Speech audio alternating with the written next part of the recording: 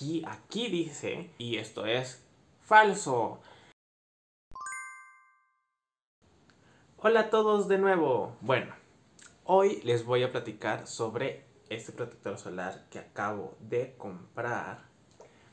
Y si ustedes ya quieren ver lo que me gustó y lo que no me gustó de ese protector solar, pueden pasarse a este minuto o este por acá lo voy a poner. Eh, para saltarse toda esa introducción, que no creo que sea mucha, pero pues suelo hablar demasiado.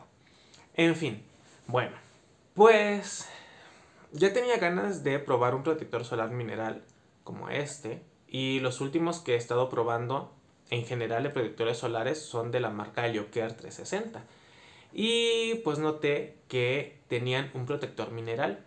Los protectores minerales, a diferencia de los químicos que eran mayormente los que estaba usando, bueno, que eran todos los que yo estaba usando antes, que había probado, los protectores minerales son más gentiles con tu piel y funcionan a partir que te los pones. Entonces no tienes que esperar estos 30 minutos em, para exponerte al sol, sino que este cuando tú te lo pones ya puedes salir y te está protegiendo desde que tú te lo aplicas. Pero estos protectores solares también no se absorben, eh, no los absorbe tu piel como los químicos. Eh, los protectores minerales funcionan como una barrera física. Entonces, esta barrera funciona pues como un escudo en tu piel y tienes este protector solar en la superficie, entonces lo sigues sintiendo. Bueno, después de esto, ya les voy a decir ahora sí qué fue lo que me gustó y lo que no me gustó de este protector solar. Lo que me gustó fue, la verdad fueron cosas, mm, fueron muy pocas cosas. Una de ellas es que es muy gentil con tu piel. Yo que tengo la piel un poco seca, sensible, que se irrita fácilmente, este protector fue demasiado gentil con mi piel, no me irritó para nada. La aplicación fue muy agradable también. A diferencia del protector anterior, el Water Gel, que les dije que me picaba y me ardía la piel los primeros, la primera semana de uso. Y con este no, de verdad súper gentil, no tuve brotes de mi dermatitis, así que todo súper bien en ese sentido. La segunda cosa que me gustó fue que es fluido, no tanto como el water gel, que es como casi una que es demasiado, demasiado fluido. Este tiene más o menos la consistencia del Helioker Gel Oil Free. Más o menos, quizás un poquito más fluido que este que les estoy mencionando. Entonces, pues no es tan denso.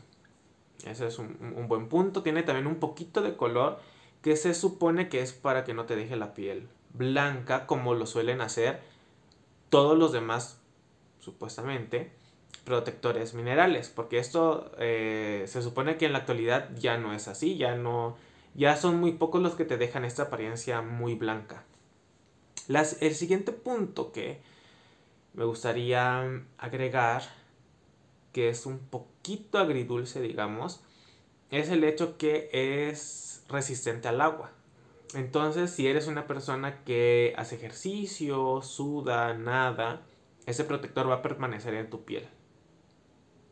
Ahora vamos con lo que no me gustó, que sí fueron varias cosas. Y bueno, lo que no me gustó fue es que te deja la piel muy blanca, muy muy muy blanca, a pesar que tiene color, se notaba mi cara demasiado blanca y blanca falsa, así como si me hubiera puesto un poco de pintura diluida con agua. Y también dice, aquí, aquí dice, que no te deja un efecto blanco en la piel y esto es falso. Sí te lo deja. Sí, es muy notorio. Mm, así se notaba. Entonces, si le quieres ver el lado positivo, pues te vas a dar cuenta en las zonas en las que no traes protector solar. Pero la verdad es que. La verdad es que es, estéticamente no se ve muy padre. Eh, sobre todo aquí en estas zonas, como de las arruguitas que se nos forman acá. en, las, en esas partes de, al lado de la nariz, en el entrecejo, aquí, aquí en el borde del cabello también. Si es donde más se acumula el protector solar, entonces se ven estas líneas blancas en esas zonas que sí se ve un poquito incómodo de ver. Lo siguiente que tiene que ver con esto y con el punto que es resistente al agua es que es muy, muy, muy resistente al agua. Así que aunque te lo hayas puesto una sola vez en el día, cuando llegue la noche y te laves la cara, vas a ver cómo cuando te echas agua todas las gotitas quedan en la superficie de tu piel.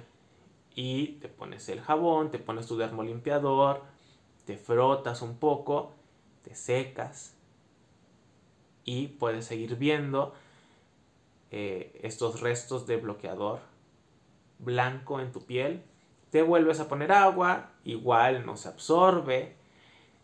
Te pones el dermolimpiador, te enjuagas, te secas y sigues viendo el protector solar en tu piel. Entonces, pues ya depende de ti si quieres darte una tercera bueno, es que también mm, en mi caso mis dermolimpiadores son mm, gentiles, no hacen espuma, por lo mismo que no te resecan la piel, es para piel sensible, para piel seca, no sé si eso tenga que ver. Pero en lo personal es un poquito... Yo que soy un poco ansioso, sí me genera conflicto el que no pueda yo quitar el protector solar de mi cara. La otra es que al ser un protector solar mineral, estos, como les dije hace rato, no se absorben. Entonces los vas a seguir sintiendo en tu piel. Sientes la cara un poquito aceitosa, oleosa, grasosa, brillante. Te mancha el cubrebocas también. A mí me pasó que los primeros dos días en el que empecé a probar el protector, en esta zona justamente de donde empieza el cabello, era como si me hubiera puesto embarrado, puesto barro o lodo y se hubiera secado, así se veía. Entonces, la verdad me arrepentí muchísimo de ese protector solar. A mí en lo personal yo no lo volvería a comprar. Si tienes la piel muy sensible ninguno te ha funcionado, creo que valdría la pena probar este. Pero quizás valdría la pena probar también otro protector solar mineral. Espero les haya servido y bueno, si les sirvió, pues qué bueno. este, ya saben, denle like, suscríbanse, comenten qué les ha parecido este protector, si lo han probado, si pensaban probarlo. Y nos vemos la próxima. Bye.